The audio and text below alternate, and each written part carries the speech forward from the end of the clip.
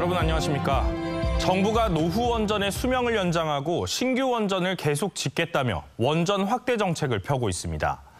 부산 MBC가 부울경 지역 주민을 대상으로 원전을 둘러싼 현안에 대해 여론조사를 실시했는데 지역 주민 가운데 절반 이상이 원전은 위험한 것으로 느낀다고 답했고 노후 원전 수명 연장에 대해선 찬반 양론이 팽팽했습니다.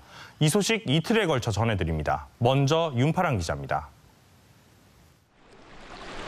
원자력 발전소에 대해 지역 주민들이 어떻게 느끼는지 물었습니다.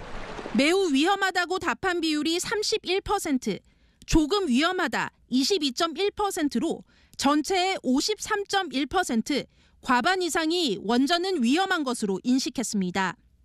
반면 전혀 위험하지 않다 14.6%를 포함해 위험하지 않다고 답한 비율은 44.4%였습니다.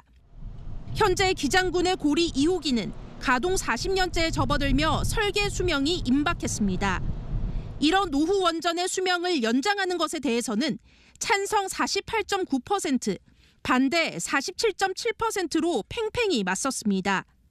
수명 연장 여부를 어떻게 결정해야 하냐는 질문에는 정부나 원자력 전문가가 결정해야 한다가 47.9%, 주민 의견에 따라야 한다는 45.9%로 나타나 오차 범위 안에서 비슷했습니다.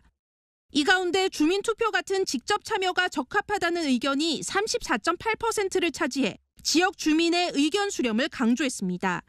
정부의 에너지 정책 방향은 원전 48.3%, 신재생에너지는 45.2%가 지지했습니다. 이번 조사는 부산 MBC가 한길 리서치에 의뢰해 부울경 주민 1,500명을 대상으로 실시했으며 표본 오차는 95% 신뢰 수준의 플러스 마이너스 2.5%포인트입니다. MBC 뉴스 윤파란입니다.